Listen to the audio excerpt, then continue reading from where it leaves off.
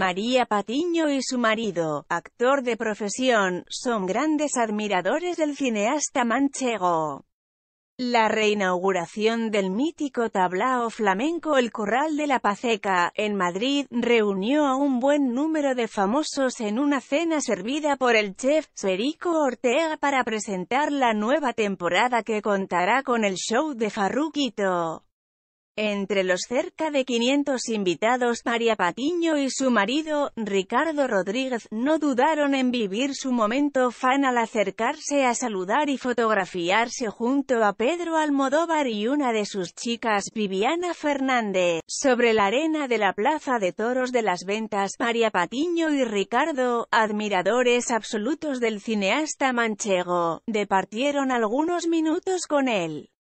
María Patiño y Viviana Fernández son compañeras de cadena y habrán coincidido en más de una ocasión por los pasillos de Mediaset y en los platós del Deluxe.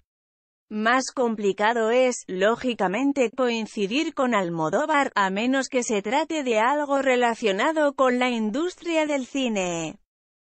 Noches mágicas en el arroba corral de la Pacheca con magos de la vida arroba de Devilisa Woman arroba Richo Rodríguez arroba JM Farruquito Almohadilla Pedro Almodóvar, escribió una María Patiño emocionada.